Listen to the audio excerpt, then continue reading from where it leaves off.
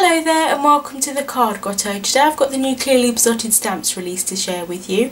All of these items will be available in the shop tonight at www.clearlybesottedStamps and at www.simonsaysstamp.com at 10pm British Summer Time, which is tonight.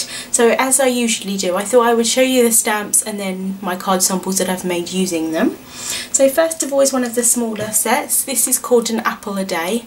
Really, really cute little set. So you've got obviously all the different apples here with the different um, designs in them. So polka dots, um, solid image, lovely pattern here and then one with a little heart cut out. And then you've got obviously the two stems. So you've got um, an outline stem and then a solid stem. And then you've got You are the apple of my eye and You are the sweetest. Really, really cute. And then it, does actually come with um, it doesn't come with a die that you can purchase although the die already came out if that makes sense. So um, back in April um, last year this set came out which is the um, teacher's pet which also has some apples on as well. And the die um, that you use for that set um, coordinates with this set here which is really great. So if you've already got it you don't have to buy another um, another die set. And also I've used two different stamp set on on this card that I'm showing you here. So I'll just show you this one as well. This is called the diagonal stripes. I love this set. I I've only used it on one card um, on this release but I know I'm definitely going to be using it a lot. I really really like it. So you've got the thinner stripes and then obviously a bit thicker and then you've kind of got like um, a double stripe. Um, and the same with this but they're, um, they're thicker. So just I mean I can see so many different uses for these.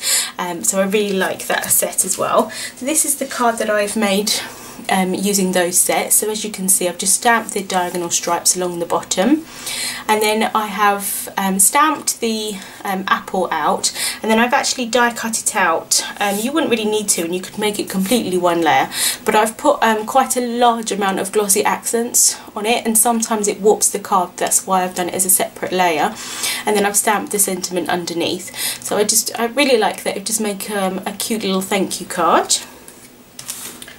And the next set here is called Love Blossoms. Really, really lovely set.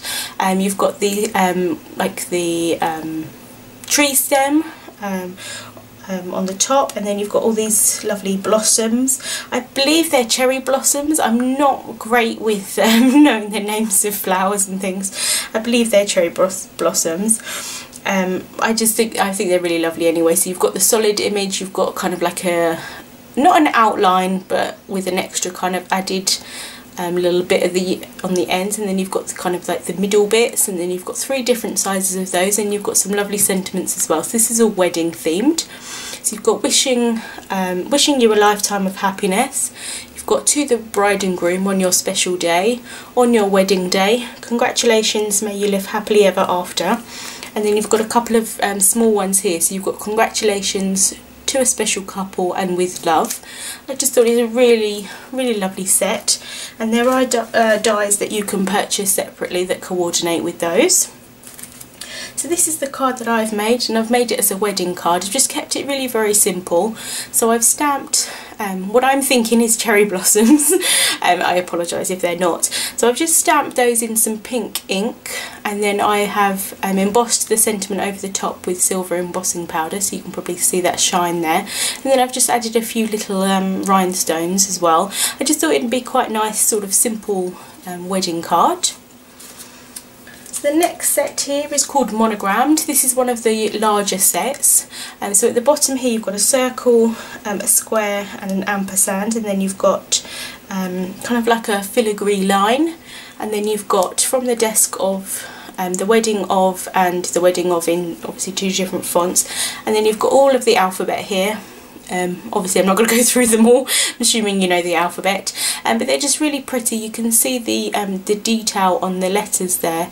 It's really um, really ornate, very pretty. So you could obviously use this as wedding stationery, um, you could use it as normal stationery, you could use it as, I mean anything, the um, possibilities are endless really.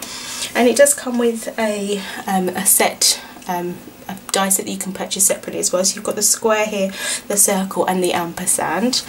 Now I have to be honest, I cheated a little bit with my card. I have only used the ampersand on this card, um, only just because I really wanted to use it.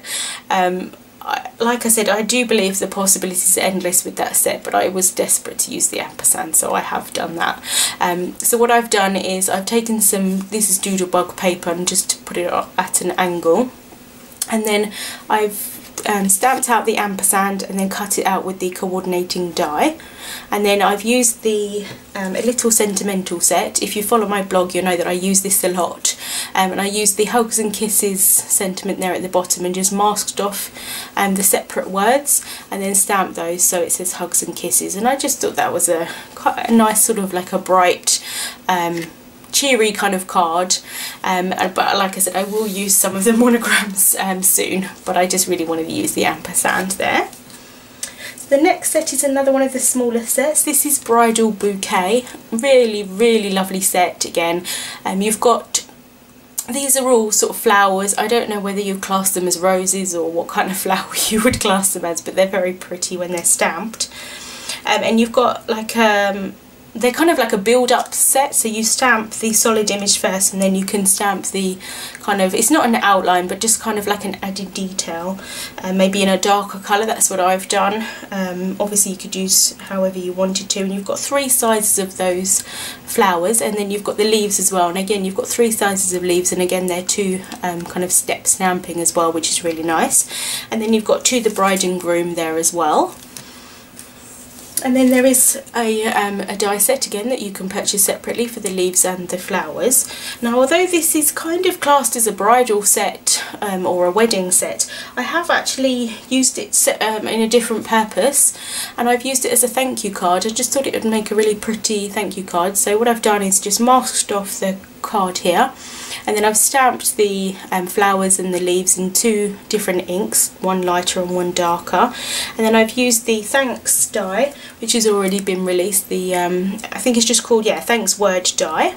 And I've um, cut that out with some white cardstock three times and layered those up. I don't know if you can sort of see the layer there and then on the top layer I've just added some Wink of Stella and then a couple of rhinestones. So I just thought it'd be a different way of using those stamps. Um, you can still obviously I, I, honestly think that most of these sets you could use in so many different ways. And um, so I as I said I've made a thank you card. And then last but not least is the graduate. Um, a really lovely um, set again. Um, so you've got the um, do you know what? I can never remember the names of these things. And I am actually graduating for the second time um, next week actually and I, st I still don't know the names. I think it's a mortarboard I think. It's the hat anyway. And then you've got the scroll there as well. And then you've got um, two of these lovely um, sentiments here. So you've got it says do not um, go where the path may lead. Go instead where there is no path and leave a trail and then this one here is um, live as if you were to die tomorrow. Learn as if you were to live forever. And they're quite nice inspirational quotes for um, you know someone that's graduating. And there is a coordinating um, die set you can purchase separately as well.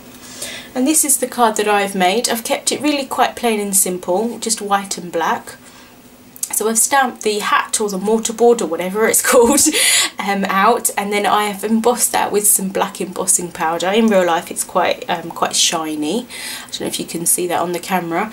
And then I've used the Congrats um, word die again. Uh, well, obviously not again, but it's a separate separate word die. I really do love these um, word dies and just um, cut that out with black cardstock, just one layer this time, and then I've added some silver Wink of Stella on the top, and then a couple of um, enamel dots as well. I just thought that was quite nice, sort of plain, simple card. So that is the release from Clearly Besotted Stamps this month. I would love to hear what your favourites are so far and if you purchase any tonight as well. Um, I know there are lots of you that follow um, you know the the company and um, you you pretty much buy every month. So I really like to hear what your thoughts are on this release. Um, obviously it has been a little bit delayed um, this month unfortunately due to postal problems. Um, but hopefully you know you'll really enjoy them and it's been worth the wait. Thank you so much for watching and I'll see you soon.